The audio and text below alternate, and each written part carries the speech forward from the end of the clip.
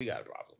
So I do want to Yeah. get to um, you know, in in your video you said that we should gatekeep carnival. So Mm. what what does that look like to you? To be honest, I don't know because I feel like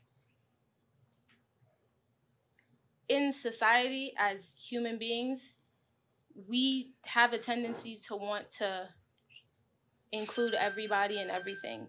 Mm. But you that's not sustainable for something like your culture. Like you Mm. can't just have everybody feel like they can have access to everything. Some things do need to be private and they do need to be just to the people who it needs to be for. Like, yeah, that's how I feel. I don't know what it looks like because I don't put together carnival, so I don't know the scheme of how everything goes together.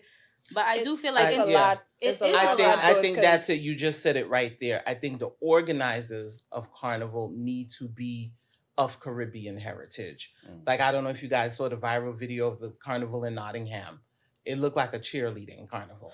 Did you see that? I seen the video. Yeah, and so everybody Yeah. was like crickets. Like, what are y'all Mhm. doing? It's it's you know, it's just not acceptable. So I think when you don't have um organizers of Caribbean heritage who can successfully gatekeep the culture, that's when it becomes a problem. But everybody is they're just looking at it as a moneymaker.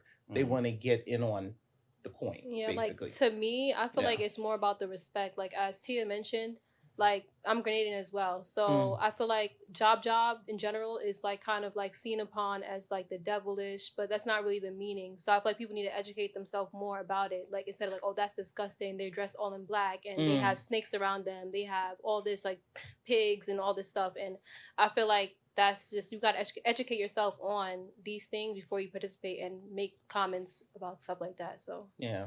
Mhm. I I, I think um, you know, one thing about and I think why your comment section was the way it was is because there seems to be this divisiveness that is going on in the diaspora, whether it's Africans or you Mhm. know, um Ameri- black Americans or Caribbeans.